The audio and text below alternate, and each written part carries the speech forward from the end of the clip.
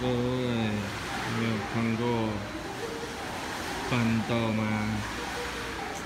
其实小时候啊，还有安生的爸爸就很喜欢板豆，就是很喜欢吃这种板豆。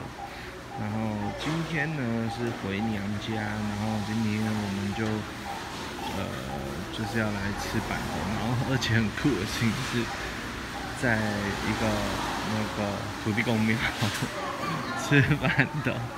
超酷的！我觉得板豆是台湾非常非常重要的一个文化，对，它是非常有人情味的一个用餐的体验。哇，来看一下，看一看，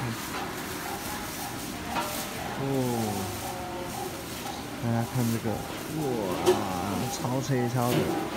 你看有鲍鱼，然后有这种这种虾啊，这种虾子沙拉，然后还有那个，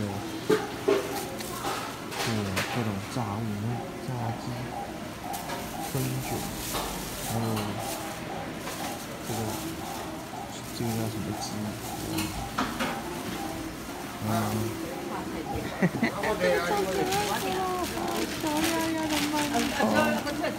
这个布布一定会唱。小鸭鸭馒头。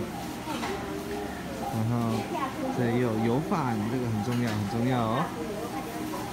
对，然后通常呢，这种板豆呢，就是这种，你不知道大家有没有看过一部电影叫《中破台》？对，就是会。直接到现场呢，就有就有呃，他们通常会自己，因为很多时候在路边嘛，他们就会自己带一些像蒸蒸汽啊，或者是炒台啊等等，就是都可以，就是都都现场就可以制作美食。然后也给大家看一下这个板豆呢，最棒的就是有这种。这种，有没有？大家有没有用过这种杯子？一条一条的，然后这种粉红色杯子，通常都是板头才会出现，一般比较不会出现的，一般都是那种白透透明啊，或者是那种怎么讲？透明或白色，很只有板头会比较常出现这种粉红色。不会，不会吃板豆哇！板豆第一次吃板豆，你等下会看到那个包子，你会超喜欢。什么包子？它是它是丫丫的包子。